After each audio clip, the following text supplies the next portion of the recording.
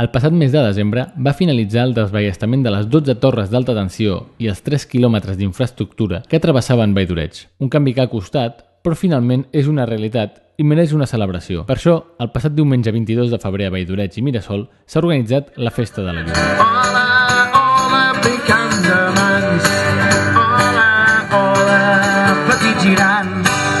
La Festa de la Llum va començar a Mirasol, al barri de Majaner, amb una xocolatada i animació infantil, just al punt on es va iniciar el desballestament de les torres d'alta tensió que creuaven Vall d'Oreig. Una hora més tard, començaven les activitats d'aquest dia festiu a la plaça del Casal de Vall d'Oreig. Petits i grans van gaudir de tallers i activitats relacionades amb la llum. Fanalets, ombres xineses, Què és això? Una!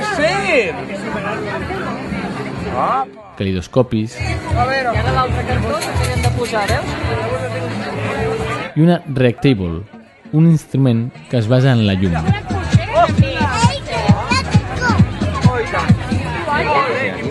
el, el, sí, el, el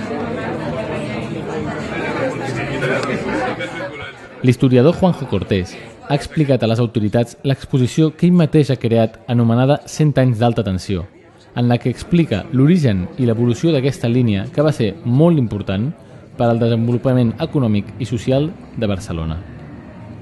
Hi ha molta gent que sempre comentaven de...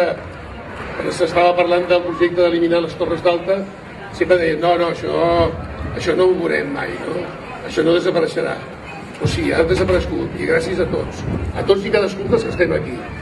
Tota la gent que ha treballat, la gent que estem al govern, que hem estat als governs anteriors, Després dels parlaments, el director de distribució d'Endesa a Catalunya, Josep Ramon Esteve, el director general d'Energia i Mines de la Generalitat de Catalunya, Pere Palacín, l'alcaldessa de Sant Cugat del Vallès, Mercè Conesa, i el president de l'MD de Vall d'Oreig van descobrir una placa commemorativa del soterrament de les línies d'alta tensió.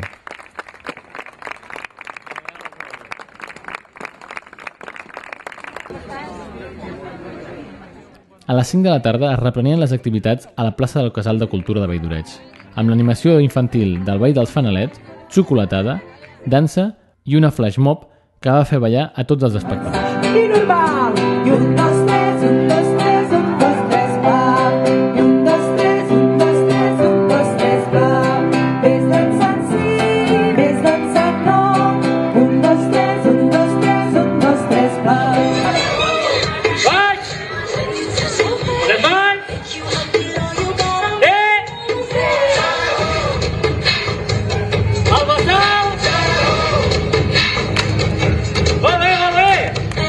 Per cloure aquesta celebració, l'espectacle multisensorial Insectum va submergir el públic en un espectacle de dansa, llum, videoprojeccions i la música en viu del pianista David Prades.